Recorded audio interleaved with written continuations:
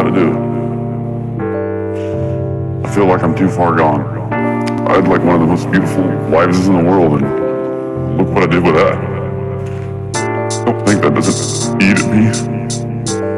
I hate myself for what I did to you. I don't like who I am. Nothing good about me anymore. Tired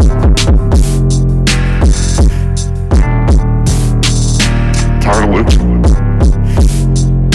Every day it's a struggle.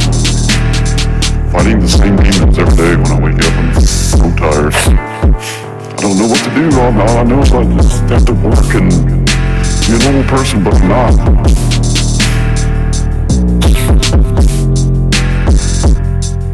What happened.